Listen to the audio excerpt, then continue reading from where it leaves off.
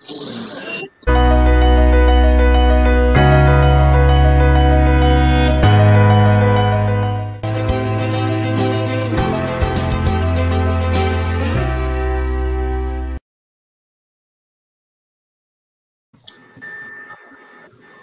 afternoon, ladies and gentlemen. My name is Dr. Asavri Sawant, and it is my privilege to welcome you to the second episode of Alzheimer's disease and dementia talk. On behalf of Voice of Healthcare, this session is being supported by Dr. Willmar Schwabe Pharmaceutical. As we are all aware, dementia is a syndrome that causes deterioration in cognitive function. Alzheimer's disease is the most common form of dementia, contributing up to 70% of total dementia cases. We at VOH recognize that until a definitive cure is found, care and awareness remain the most effective solutions to counter the dual conditions. For today's talk, Voice of Healthcare brings leading minds and experts together on this exclusive session. The title of this talk is Recent Advances and Future Treatment Options for Alzheimer's Disease. now, please let me welcome our esteemed speakers Dr. Praveen Gupta, Principal Director and Head, Department of Neurology at Fortis Memorial Research Institute, Gurugram. We welcome you, sir. Thank you. Dr. Sanjeev Jha, Professor, Department of Neurology at SGPGIMS, Lucknow. Welcome, sir. Dr. Sumit Kumar, Consultant of Neurology at Regency Healthcare, Kanpur. We welcome you, sir. Dr. Anil Kumar Jha, Senior Consultant of Neurology at Paras HMRI Hospital, Patna. Welcome, sir. And Dr. Sanjay Kumar Chaudhary, Senior Consultant of Neurology at IBS Hospitals, New Delhi. Welcome, sir. Dr. Chaudhary will also be moderating today's talk. It is said that no milestone is impossible when we aim for it together. So, without further ado, let's begin today's session. Over to you now, Doctor. Thank you, Dr. Asavri, for uh, welcoming uh, eminent galaxy of neurologists from northern India. And uh, we'll start this brief, uh, I would call it continuing medical education, but it's basically spreading awareness about Alzheimer's disease and dementia to the general public. And uh, welcome to this uh, talk show, in which we will ask questions from the eminent neurologists. my first question about use the terms Alzheimer's disease and dementia in a similar fashion as if both because Alzheimer's disease forms 70% of all cases of dementia. Now, the first question goes to Professor Sanjeev Jha from SGPGI, sir. What are the common symptoms which we can relate to the disease? How can a lay person find out whether the person has dementia or Alzheimer's disease? Sir, what do you? Hmm. Uh, Dr. Sanjay and others, uh, very good afternoon to you all. First of all, uh, let, let me clarify why I'm joining the session. The main reason why I'm joining the session is I want to share my experience and observation. Am I audible clearly? Yes, sir. You are clear, sir. I just want to share my experience and observations regarding certain important essential aspects of dementia versus Alzheimer's. So I'm just sharing my experience rather going in copybook and book style. So I rather just sharing what I've experienced for the last 40 years in um, observation with patients of uh, dementia. The most important thing is for all of us to realize, including patients and caregivers and physicians and clinicians, that dementia is not a disease. It is not a disease. It is a syndrome. It is a syndrome. A Acquired intellectual impairment. It is a syndrome. Of acquired intellectual impairment informed by perceptual deficit in at least three or four of the that is memory, language, cognitive function, spatial attention, emotional status, personality. So, three things I want to emphasize. Number one, acquired persistence. For example, we have the skill of working every day. I forget my calendar. I forget where I put my figure. I forget where I put my favorite doesn't mean that a lot of people mistake dementia with uh, senility. Senility is, uh, agree, senility also has impairment of memory, but that does not impair the activities of daily life. The key thing is you have to realize that it is a syndrome acquired persistent intellectual impairment. The most characteristic thing about dementia versus Alzheimer's is memory loss. And the common symptoms which we all know our uh, lost memory, they'll be, uh, they'll making calculation error. They go to the uh, vendor and make calculation error either to overpay or underpay. Or sometimes they forget to pay. Or sometimes they give all the money to the vendor. And the second common thing which I have observed is that commonly they don't, they, the patients don't have any complaint.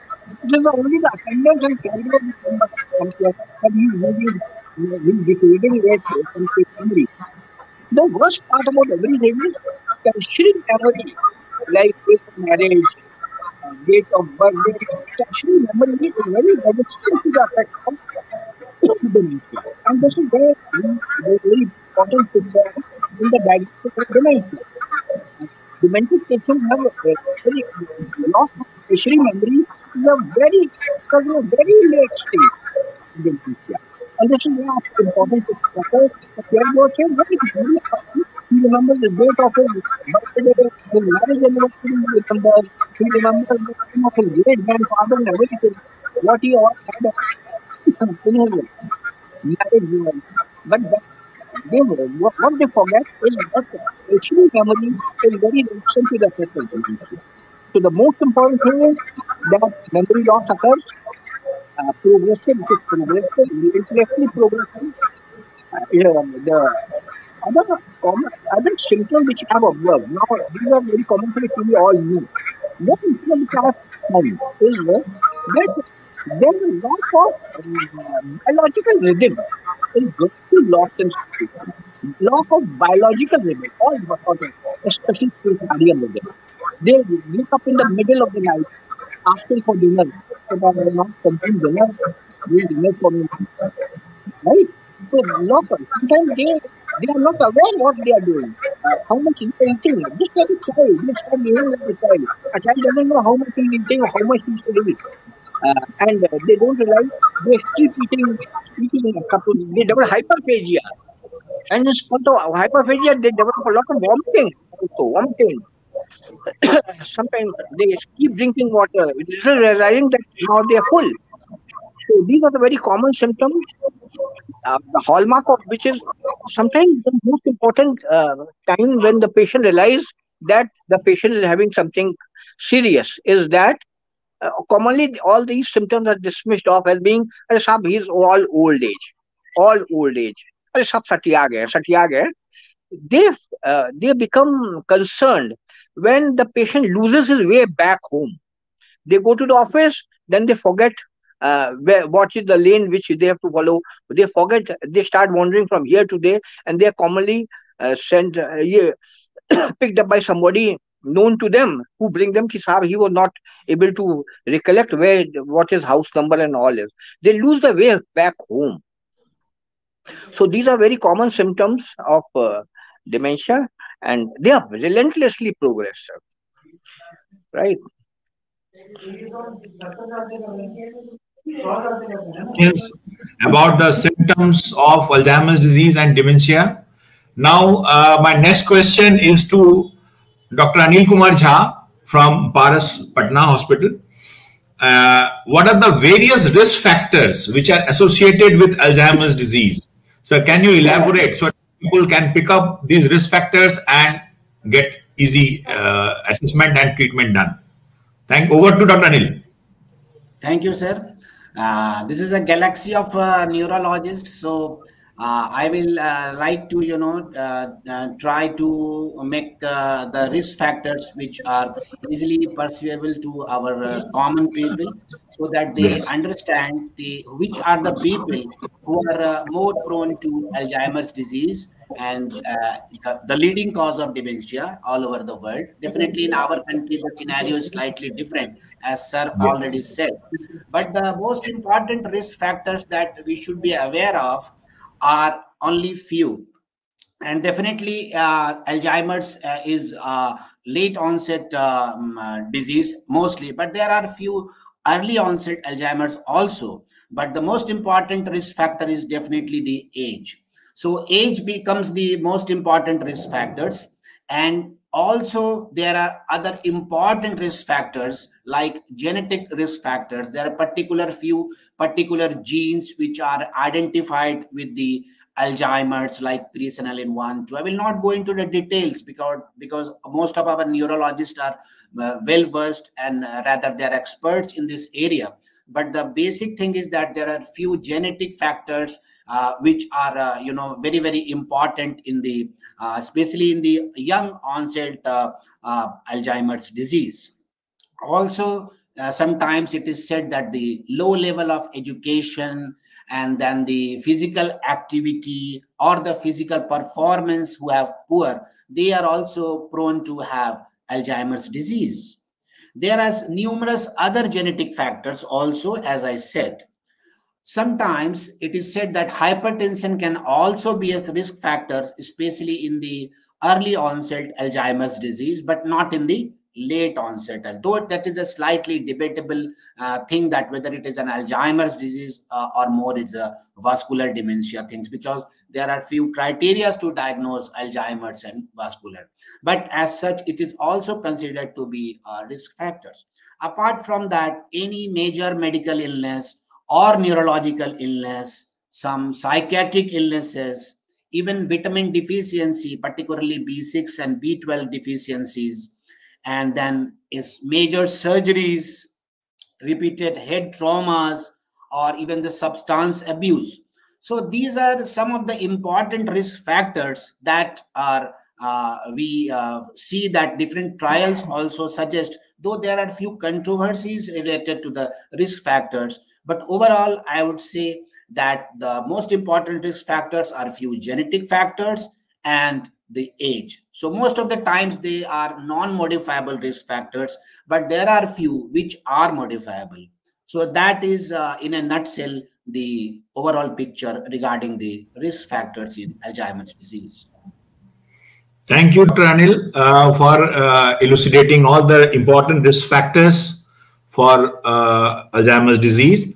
Now I will move to the next speaker, Dr. Praveen Gupta. He's from Fortis Gurgaon. He will be uh, answering as to how to diagnose Alzheimer's disease. Is it mainly clinical or as in India, because we are a third world uh, developing country, are there non-clinical uh, tools easily available in India?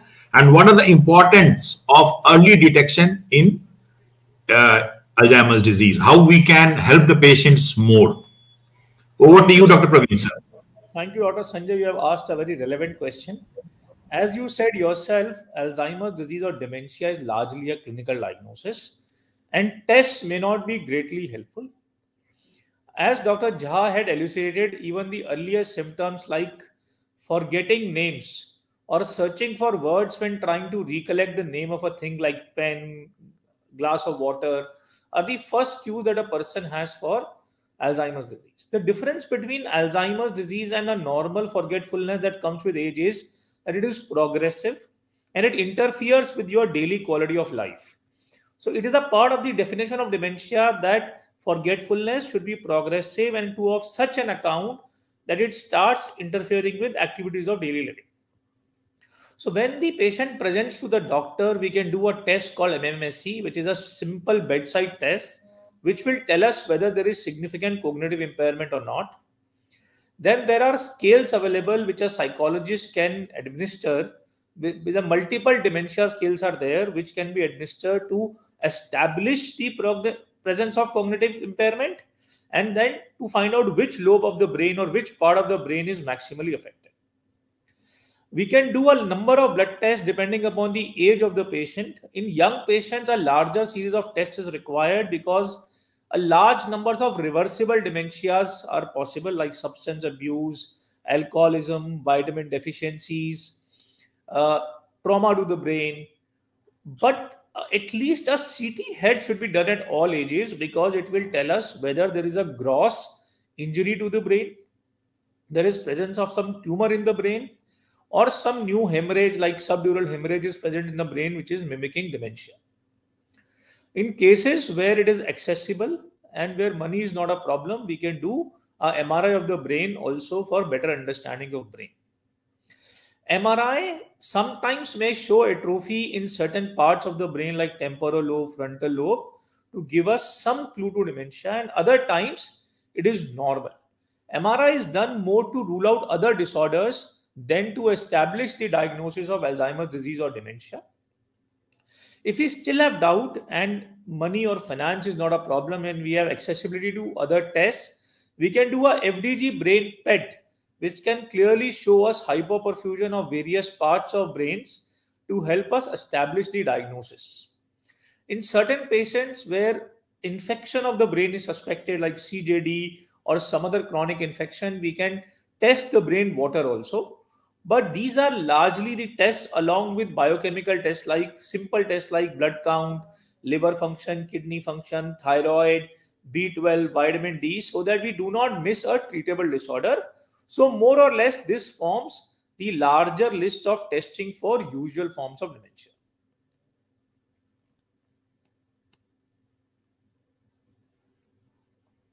To my question. Thank you, Dr. Praveen, for elaborate answer to my question. Now I'll move on to the next speaker, Dr. Sumit Kumar. He's from Regency Hospital, Kanpur. As uh, Dr. Anil has already elaborated about the risk factors of uh, dementia and Alzheimer's disease, how can we reduce the risk factor for developing dementia? Can it be altogether prevented? Can it be delayed? Can the effects of dementia be minimized by intervening with the risk factors? Please, over to Dr. Sumit Kumar. Thank you, Dr. Sanjay. I hope I'm audible. Yes. So as, as uh, nicely elucidated by Dr. Anil Jha, we we obviously have seen that there are some modifiable and non-modifiable risk factors for Alzheimer's disease. Obviously, we cannot modify our genes uh, if at all genes are responsible for developing Alzheimer's disease, but there are uh, uh, a few modifiable risk factors which also lead to uh, Alzheimer's disease and dementia, though these are very debatable. So, one thing uh, which multiple studies have shown is that whatever risk factors that are present, they are present in, uh, we can say, in midlife stage like in 50s and 40s and 60s. So eventually, these risk factors eventually in 70s and 80s may predispose uh, the patients to increased risk of Alzheimer's disease. So if we categorically see the treatment of Alzheimer's disease, we may not find anything related to diabetes, hypertension or anything. But actually, if we want to prevent the development of Alzheimer's disease later in the life, so we have to uh, modify the risk factors in 50s, 40s and 60s, the middle ages. So the most important risk factor, uh, which I feel is is hypertension. I think hypertension has been shown to lead to eventual develop, uh, deposition of amyloid in various uh, blood vessels, even in the brain.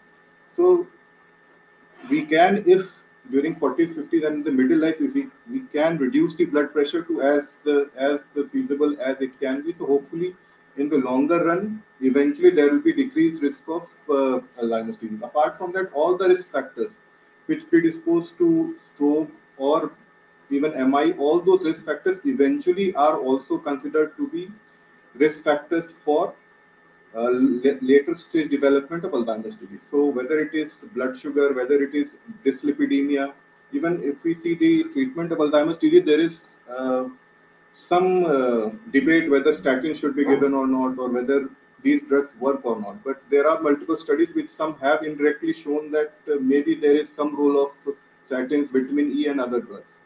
But the key is to whether there is some uh, final or some definite evidence or not, that is debatable. But if at all we want to have uh, any modification in risk factor, that has to be done in the younger ages. So whether it is dyslipidemia, blood pressure, blood sugar, these these risk factors should be treat, uh, considered during the early stage. Apart from that, uh, uh, brain trauma is obviously one of the things which uh, are supposed to be some some sort of risk factor, but these are something which, if I, especially in elderly population, these can be avoided. As uh, Dr. Praveen also said that the, the, uh, the patient comes and then there is a continuous uh, small subdural hematoma or something that is present. Uh, another thing is drugs. I mean, especially in elderly population, the uh, there are certain drugs which may uh, kind of uh, suppose a patient is having not very obvious dementia, but if we give certain drugs, then these these may be suddenly developed, especially in drugs like cholinergic drugs. Like if we give anticholinergic medication to an elderly population, then or even benzodiazepines, they are some of the drugs uh, which may uncover uh, incipient dementia in some patients. So as far as risk factors are concerned, again, I would like to recapitulate the common risk factors for MI or stroke. These are the risk factors which are eventually, if at all modifiable, these are the risk factors which need to be taken care of during the early stages, during the middle ages, and if hopefully these steps will uh, prevent or delay the onset of dementia in elderly patients. Thank you, Dr. Sumit, for elaborate answer. And uh, our how we can modify the risk factors uh, for Alzheimer's disease. And uh, now we move to the second round of questions. My next question is to Dr. Praveen Gupta from Fortis Gurgaon. What are the treatment options, uh, both pharmacological and therapeutic, which are available in India for management of Alzheimer's disease patients? So once the diagnosis has been established, how do we approach in treating them, especially the pharmacological aspects and other therapeutic aspects. Over to Dr. Praveen, please. So we have uh, availability of many medicines, as we have asked in our country, which can help to treat Alzheimer's disease. But these medicines may not, they are not curative.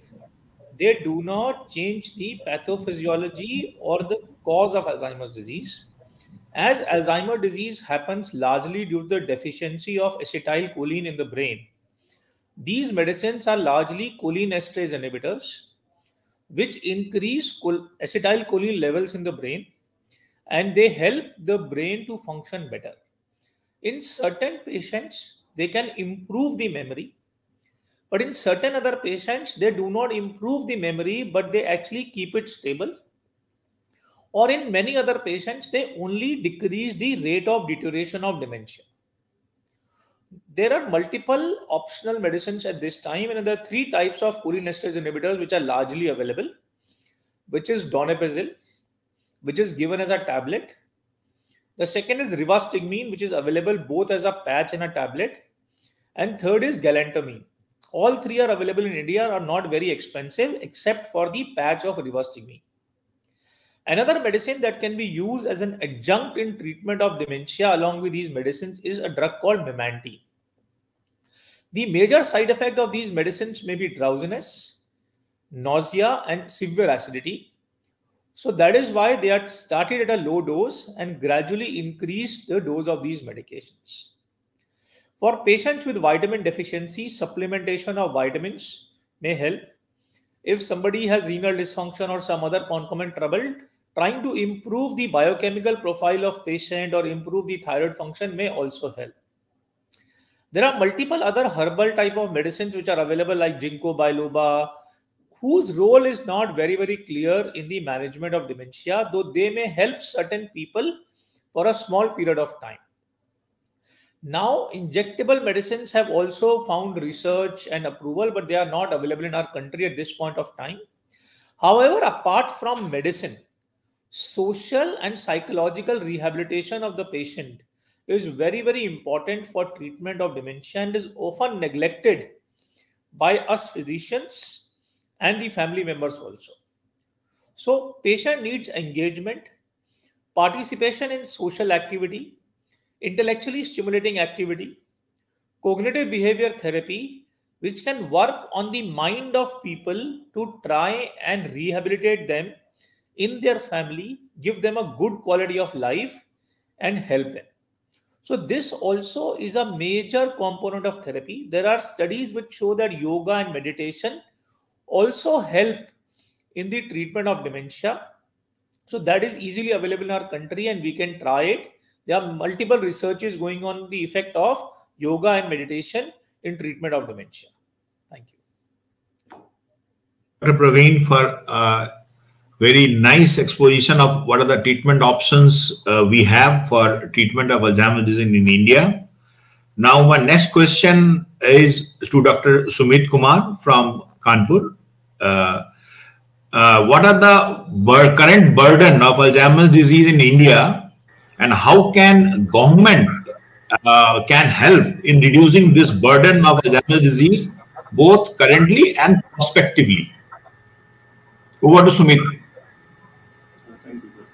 Uh, uh, if we consider the burden of Alzheimer's disease in India, I think currently we have around 5 million people uh, of Alzheimer's and various other dementias in our country at present. And that number is supposed to increase to around 30 million, or sorry, 7.5 million in next 5 to 7 years. So that is a huge number of, of people. But if we if we see, look at the demographic profile of such patients, they are mostly elderly and if we think uh, from the government point of view, they might be considered as some some group of population which is not very productive. So, but still, it is a, a vulnerable group, a group which needs the support of the government. So, uh, I think as far as the, goal of government is concerned, uh, there is a Mental Health Care Act which protects the uh, the rights and and rules of these this group of people who are, uh, say, in the 70s or the 80s. So uh, the role of government, as far as I, I feel, is is to increase awareness of the of uh, the disease. I think uh, still in our country there are hardly uh, medical colleges with departments of say geriatrics or neurology. So uh, I think it is considered that up to 70 to 80 percent of uh, all dementia or Alzheimer's patients are undiagnosed. So they are considered just an old age disease or something like that.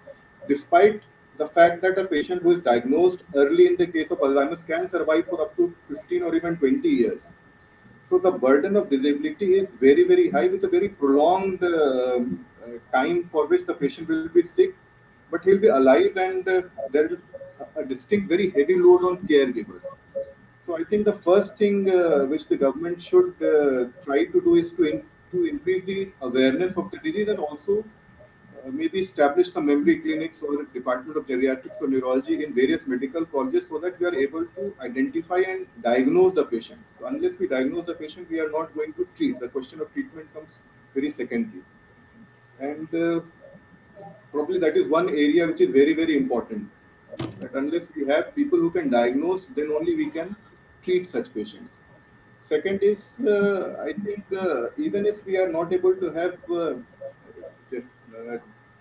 very strict uh, consultants or, or uh, specialists who are able to diagnose, we can still establish screening clinics or we can teach some, even at PHC level or government district level, we can teach the uh, doctors there about the screening of dementia. I mean, MMSE is something which can be done even by uh, a non-medical medical person. So, by increasing the awareness and thereby by increasing the uh, the uh, diagnosis of patient, hopefully the 90% who are not diagnosed, probably we can first of all diagnose the patient and the role of government is definitely at that point is very, very important. Thank you, Dr. Sumit, uh, for uh, this lovely answer. And now my next question uh, goes to Professor Sanjeev Das, sir, of SGPGI. Sir, what is the role of support groups and how can they help us in managing the Alzheimer's disease because we cannot leave it all at the at the door of the government. Government has only a role to play in policy and in establishing maybe small centers in nearby areas. but support has to be provided to the individuals, to the sufferers, to the caregivers. How can support group help us? Please elaborate, sir. Over to you, sir. Uh, since a lot of time is left, I'll be very uh, like to share my experience uh, regarding uh, dementia. Not only with dementia, I tell the following to the, my patients and the caregiver, caregivers. Not only about dementia, but also other disabling diseases like uh, Parkinson's, like like motor neuron disease, Huntington disease, disabling diseases, which are relentlessly progressive and which seem to have no treatment as thing as things stand today. This whatever I am going to speak now, um, um, now is more about the degenerative disorders of the brain, which is applicable also to patients like of motor neuron disease, uh, like uh, Parkinson disease, Huntington disease, degenerative genetic disorders, and including dementia and Alzheimer. The most important thing uh, is that uh, let us encourage the patients, as Dr. Praveen said, uh, his uh, his points were very illuminating. Dr. Praveen, salu- I salute you for your wonderful points, which I have always in my mind, uh, and I've been there with over the last 40 years. They've been with me. Number one, encourage the caretakers to get the patient investigated as keep the investigation machinery in full throttle the investigation machines sometimes seem to revolutionize the treatment. the treatment in, uh, in neurology has been revolutionized. Uh, I joined uh, neurology about 30 years back, the department of neurology about 30 years back. At that time, there seemed to be very few investigations available for, uh, including MRI or budding. What I've seen, encourage the patient's attendant to go ahead with investigation. Spare no efforts to rule out a treatable cause. Spare no efforts to. Sometimes they may you be in for a very big surprise. For example, you get a B12 estimation done, which is not very expensive. You get an MRI done. Sometimes you find a subdural hematoma. Sometimes you find a normal pressure hydrocephalus. Right? So spare number one, spare no efforts in uh, establishing a treatable cause. Sometimes, all, not all patients of dementia are non-treatable, like vitamin B12 deficiency, vitamin E deficiency, vitamin B6, sometimes some other uh, nutritional deficiency, metabolic deficiency problem may be there. One. Number two, as Dr. Praveen rightly pointed out, I'm I salute this point of his. Go ahead with the treatment. And as Dr. Sumit also said, I go ahead with the treatment. And uh, actually in India, you, uh, there's a time कहते हैं समय से चला आ रहा this uh, medicines are very harmful to the kidneys. They are very harmful to the heart. गरम दवाई traditional speaking गरम दवाई गरम दवाई I encourage the patient to stick to treatment like Dr. Praveen rightly said that I, I go ahead with rivastigmine, including patches, you see, let us uh, um, not spare any efforts to treat the patient also. Like rivastigmine, I give cerebral proteins also. I give donepezil, and agree with Dr. Praveen that we should last in very low dose. We should uh, actually uh, the, these family caretakers are the main backbone of treatment in neurology at least not in cardiology, but in other branches, the patient has to take. But in neurology, the backbone, I'm very important about this point. Uh, often my uh, my uh, peers they wonder what I give more time to attendants. That they are the backbone of treatment in neurology, irrespective of the diseases, including epileptics. So spare no efforts in diagnosing a treatable cause spare no effort in treatment. Start with small doses. Third. Third is any side effects report to the clinician. Fourth is form a team. There's no harm. I believe a lot in team effort. I believe a lot in team effort. Uh, I believe that the important members of my team are the physiotherapist. The physiotherapist is a very important member of our neurology team, which we tend to uh, just overlook the physiotherapist, because I have yet to see a patient die of dementia or Alzheimer's. They die of septicemia, multiple traumas resulting atambolism they die of pneumonitis. So if uh, you take the help of a physiotherapist who will give uh, tell them how to avoid bed sores, they are very important components of treatment because no patient of dementia or motor neuron they die of they die of the complications like the most important thing is trauma. Number two, pneumonitis, infection, septicemia, the liver. Third thing is take the help of a psychiatrist. We hesitate a lot, especially we neurologists take a lot of uh, problem, a lot of uh, dealing with the uh, psychiatric patient, and we give our medicine. But they are specialized, trained people, and they can help you a lot, right? So they are, the caretakers are, are, are going to the two things which I my observations say to caregivers, and uh, that is keep the patient as active as possible. Let him do his normal job. The activities of daily routine, you don't overhelp him. Ask him to get a spoon for himself. Ask him to put on uh, switch on the light himself. Also ask him to keep him involved. Let him not feel worthy, uh, uh, worthless. Right? And it is this depression that kills the patient. He feels that he's of no use to society now. And that really impressed me. Uh, my experience uh, in Australia was that uh, when people uh, leave their home to go for those what you call that old age home, and uh, you see, observe them after one month, as a, they deteriorate like anything. They just buzz off. They're about to die. They're about to perish.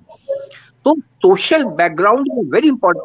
Uh, in Australia, what they do as soon as the patient becomes disabled and dependent, over dependent, they have to sell off everything and go to government uh, help age homes. There, massive deterioration occurs just in a couple of months. You trust me. Also, what I must emphasize that social, as rightly pointed by Dr. Praveen and Dr. Praveen, that social social help is very, very, very important. Like I remember one of my very close relatives, my father-in-law. I used to share jokes with him and used to laugh like anything. I used to ask him for money. He just, uh, just uh, petrol So he used to feel very good. He should feel that he's still of use to society. And this is the important point to avoid nihilism in the caregiver. I mean, Nothing can be done. He's dead. This is not only applicable for Alzheimer's, also I have seen patients of motor neuron disease survive decades. Trust me, just by mean, he live a very long time. Just avoid for him uh, traumas, especially at bedtime. Traumas are very common at bedtime. I must uh, say that keep the patient as active as possible, physically and mentally, mentally, and avoid trauma, especially during the nocturnal time, where patients are very susceptible to falling and develop fractures and all. Two things again, I repeat, keep the patient mentally, socially, very independent and very active, avoid trauma. trauma. And take the help of physiotherapists, the psychiatrist, and the other peers. And they'll, the wonders will work out. Thank and you, Dr. I agree with Dr. Praveen in that keep the therapeutic and the investigative machinery in full gear. Therapeutics, therapeutics, therapeutics, therapeutics. I don't hesitate in giving rivastigmine, donepezil trials, no trials. In trials, they are found to be very effective. And my personal experience with these drugs is very good. And they are not very expensive. They are at least cheaper than um, what you call as pizza and all. They, they were quite cheap, reasonably cheap and every Tom, Dick, and Harry can easily afford them. Go out for investigation, go out for therapeutics, and keep the uh, keep a team of. Um, Thank you, Dr. Sanjeev sir, for this elaborate answer. I couldn't agree with you more. Uh, I would fully agree with you that the best place of treatment for patients of Alzheimer's disease is at home with the patient's relatives, with their caregivers. But unfortunately, as India has moved on from joint families to nuclear families, support group numbers have got reduced so that the support system is missing at homes. So I would wish, even though individual liberties are curtailed in joint family system, I would strongly recommend in those patients of Alzheimer's disease, they should go back to joint family system because they have they can be provided audio and visual stimulation from small children's, from their sons, for the in-laws, from the uh, siblings, from their relatives, second degree cousins, third degree uh, nephews, and so they can all help because so much audio stimulation can be possible inside a home, which is not possible if they are shifted to any hospice or any uh, old age homes so many people go there only because they think that no one is looking after them at home. But if someone is there to look for them at home, nothing like it. Apart from this, sometimes there is a real issue with nuclear families when there is only wife to look after. And in such cases, there is a great deal of for support groups, especially I would uh, recommend we have uh, Alzheimer's disease international is a self support group we have in different parts of India, in different cities, different towns.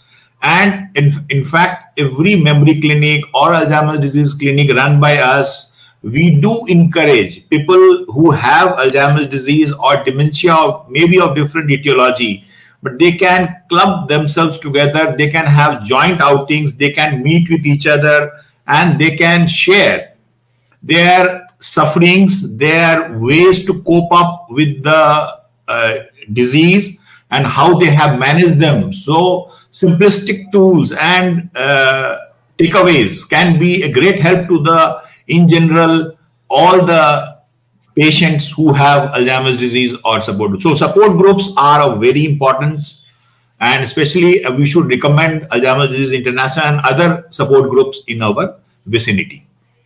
So I will move on to our next topic though there are n number of topics uh, we can go on and on for hours and end i think we have left out uh, one important aspect is the mild cognitive impairment which which almost 70% of patients are going on to uh, develop alzheimer's disease. So we will discuss that after my next question.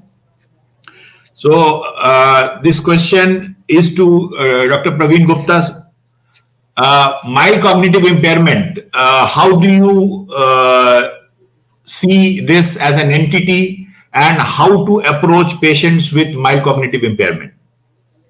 So, mild cognitive impairment in elderly people is very, very common.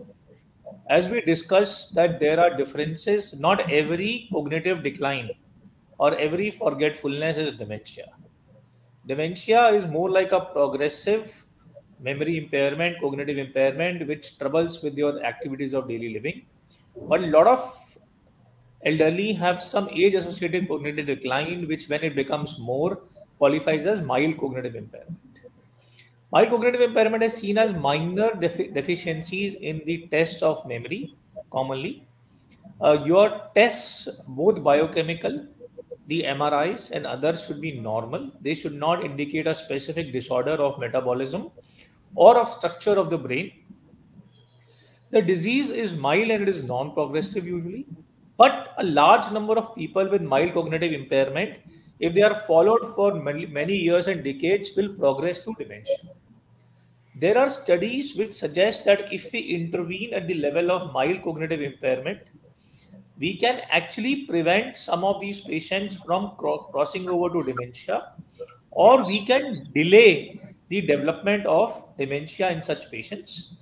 In my opinion, because of the limited effect of medications in patients with dementia and limited repertoire to help those patients to, in, to find and intervene these patients at this stage is more important. And in my donepezil is actually have some research data to actually suggest some benefit in mild cognitive impairment also and as Dr. Jha emphasized, for a patient, statistics is not important. For a patient to get a medicine from a doctor which makes his current problem better or quality of life better is most important. So we should try intervening with therapeutics where it is indicated, plus all other things like stimulation, socialization, giving support, maintaining stimulating activities, learning, trying and learning new things which engage the patient. We should start these activities at the stage of mild cognitive impairment itself and not wait for somebody to become demented to intervene because these in- investigations can actually improve our own quality of life because once you develop dementia it's not a disease of the patient. Dementia is a disease of the complete household where caregivers attendants family members are as badly affected as the patient sometimes even more so so whatever we can do at this stage to make the quality of life of people better that is most rewarding even more than more rewarding than treatment of dementia also Yes. Thank you, uh, Dr. Praveen, for this uh, elaborate answer.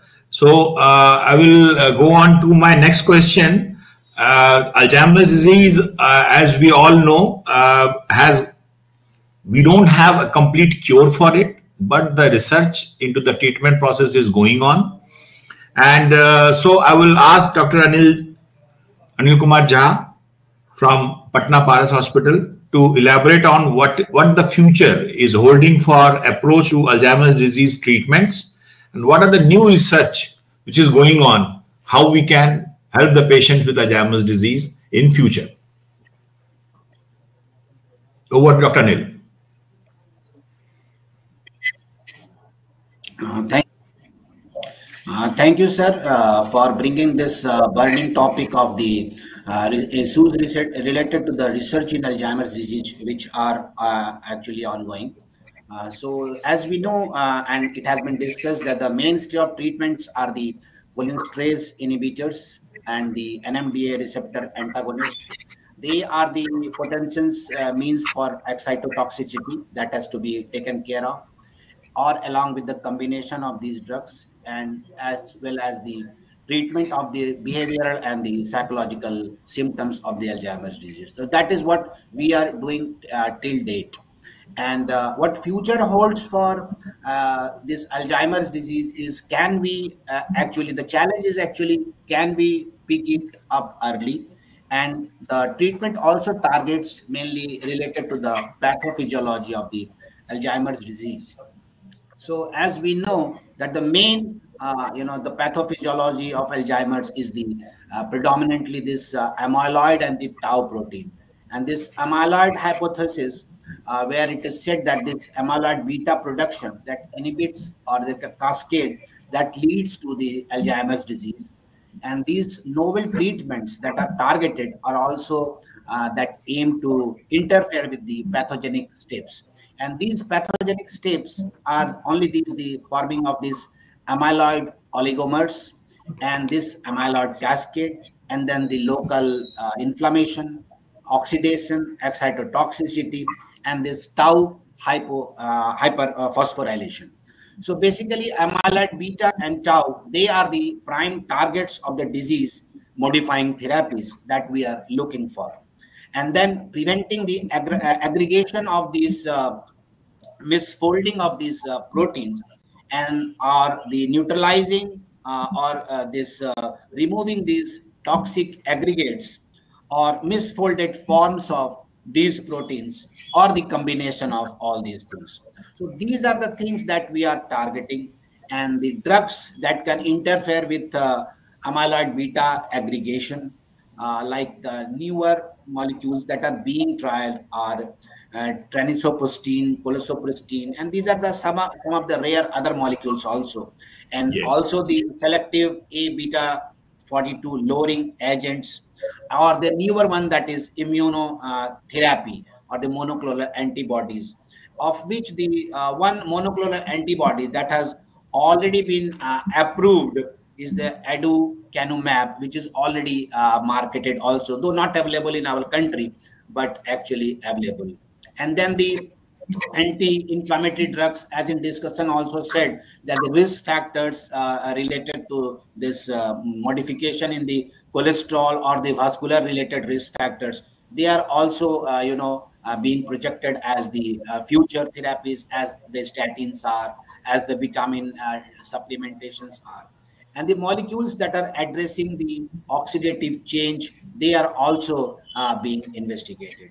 So the basically the future holds for uh, targeting these uh, pathophysiology or the pathological steps. That is the amyloid beta and the tau. That is the targeted thing. That is the target thing. And also early uh, pickup of these molecules with the biomarkers especially the biomarkers of beta amyloid and the phospho-tau these are these can be a biomarkers and the challenge the whole challenge is to neuroprotective and can we act early by modifying these agents in the pre-symptomatic stage so the future holds in uh, picking up early the Alzheimer's disease and targeting these uh, uh, abnormal uh, molecules which are, you know, uh, basically uh, causing the disease. So that that is the future holds for us. Thank you, Dr. Anil, for a very elaborate answer into what the future holds for the therapy for Alzheimer's disease. As I can understand, in future, uh, it will not be just like we have CT scans and MRI for the brain we can have scans of the brain looking at the amyloids, proteins, and the tau, which are now available only in very advanced MRI centers of the world in US and UK. In future, maybe it will be easily available so that we can uh, the, these cases up much earlier. So much has been discussed today about what are the, how do we diagnose a patient of Alzheimer's disease and dementia? How do we uh, look at the risk factors? how we go about the therapy for these patients. Much has been said about the care for the Alzheimer's disease patients. Now, one last question. It is to Dr. Sumit Kumar. As to we have discussed in detail about the treatment of Alzheimer's disease and the Alzheimer's disease patients.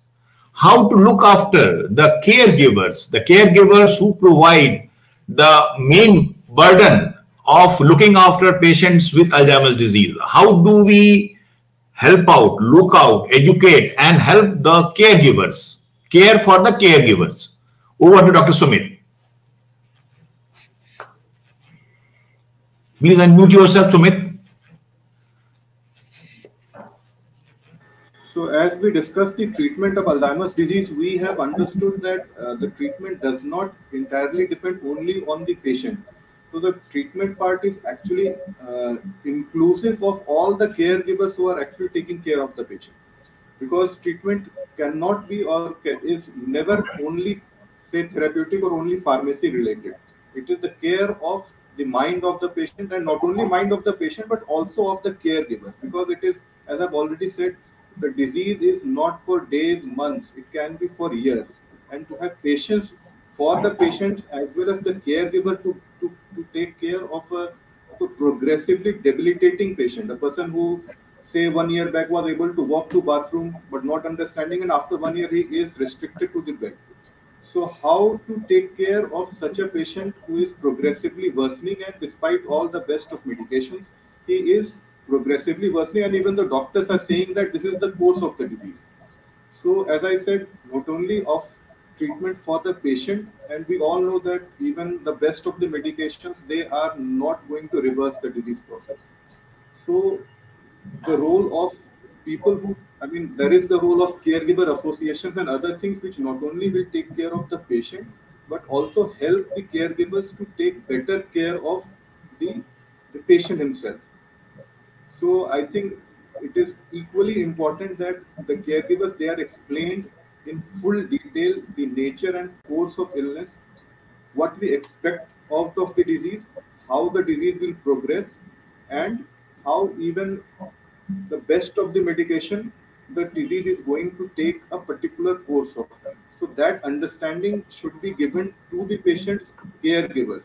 And for that, as the sir was also uh, talking about, we should establish specific Alzheimer's or dementia related caregiver groups which are uh, widely available in uh, the Western countries. So even in India, those groups, those support groups, not only uh, with respect to treatment, also psych- psychologists, psychiatrists, and as Jha was saying, uh, the role of physiotherapist and other. This whole team, a group of people should be inculcated for a long-term treatment of uh, Alzheimer's patient and also to take care of the caregivers.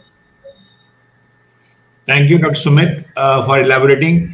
Any more tips uh, from Dr. Praveen Gupta on how to look after caregivers? Please unmute yourself, Praveen. Possibly one of the most important questions because as we look at the patients of dementia, looking at caregiver is more important because this strain can actually affect their current life, their vocation, and ongoing life thereafter also.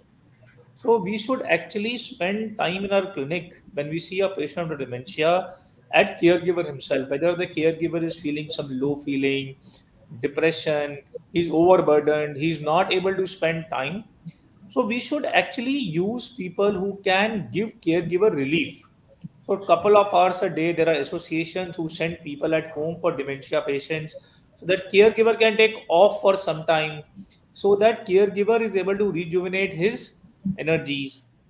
Second, caregiver counseling on what to expect at what stage, what dependence is required is very important. Third, home care for these patients, as Dr. Sumit said, when they become bedbound, they are no longer able to look after the self care activities. Arranging home cares like attendants, nursing staff to give injections, feeding, uh, Ryle's tube sometimes in the end stages. To make all that available for caregivers is very, very important.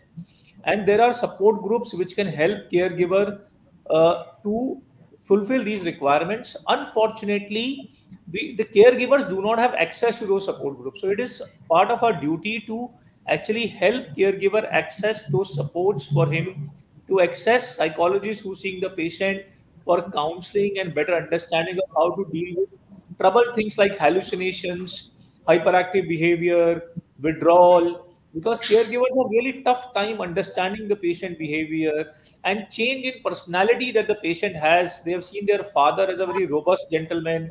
They can't see him misbehaving or as a withdrawn person. So to address all these things is equally important because dementia may or may not improve. But looking after caregiver health can get them a great feeling. It can allow them to take better care of dementia patients and come out of this illness in better health. Thank you. Sir. Thank you. Thank you, Dr. Praveen. Now, sir, over to Dr. Sanjeev Jha, sir. Please, uh, can you give some tips as to how we can take care of the caregivers? Uh, one important thing which I want to tell you by sharing a small example, just to yes, herald sir. my point. Uh, what is the role of university? I because there is sufficient time, four minutes left. I'll tell you about yes. a small case. Both Anil and Sumit have been a part of SGPGI, and they know that uh, we have got a brilliant residents group of brilliant residents there. I, we had a small young patient, uh, somewhere about the fifties, fifty-year-old gentle lady. She was a lady and she presented with dementia. All the investigation, including MRI of the brain, was normal.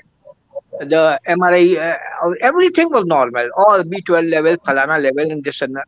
Somehow, I don't know, in spite of all the information, somehow, I don't know why, uh, the resident, um, and as Sumit and Anil will agree that uh, some uh, really a brilliant residents are there.